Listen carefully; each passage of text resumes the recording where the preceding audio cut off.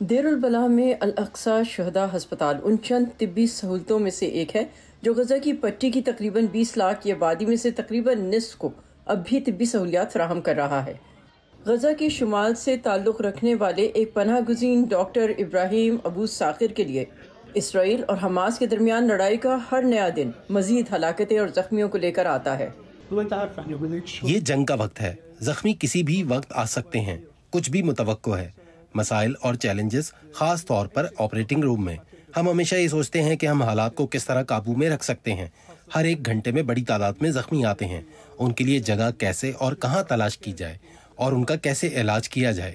نئے آنے والے مریضوں کے لیے بستر تلاش کرنے کے ساتھ ساتھ ڈاکٹر ابراہیم ہسپتال کے جنرل سرجری کے سربراہ ہیں۔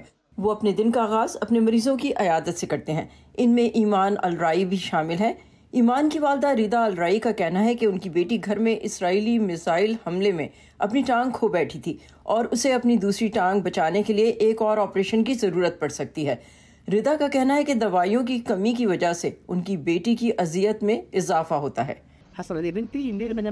کبھی کبھی اس کی چیخیں یہاں گونجتی ہیں۔ وہ درد سے تقریباً مر جاتی ہے۔ باقی سب کے ساتھ بھی ایسا ہی ہے۔ آج رات میری بیٹی کو نیند نہیں آئی۔ اسے درد کش ادویات اور علاج کی ضرورت ہے جن کی کمی ہے۔ خدا کا شکر ہے اس ہسپتال کے لیے کیونکہ یہ اپنی استطاعت سے کہیں زیادہ سہولت فراہم کر رہا ہے۔ ڈاکٹر ابراہیم اپنے دن کا زیادہ حصہ آپریشن روم میں گزارتے ہیں، لیکن ان کا کہنا ہے کہ جبکہ ہسپتال کی ضروریات بڑھ رہی ہیں اور وسائل کم ہو رہے ہیں، وہ ہر وقت طبی سامان کی کمی سے نمٹنے اور متبادل سہولیات کے بارے میں سوچتے رہتے ہیں۔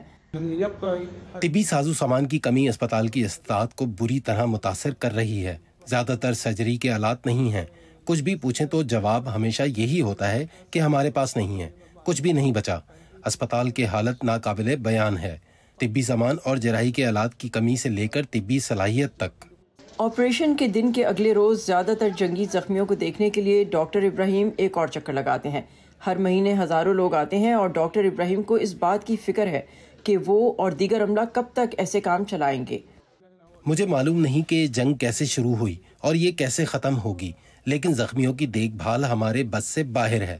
یہ کسی بھی انسان، ڈاکٹر، اسپتال یا کسی بھی طاقت سے باہر ہے۔ مجھے نہیں معلوم کس طرح ہم نے درد اور تھکاوٹ کو برداشت کیا، لیکن ہم ابھی تک چل رہی ہیں۔ میری دعا ہے کہ یہ جنگ جلد ختم ہو۔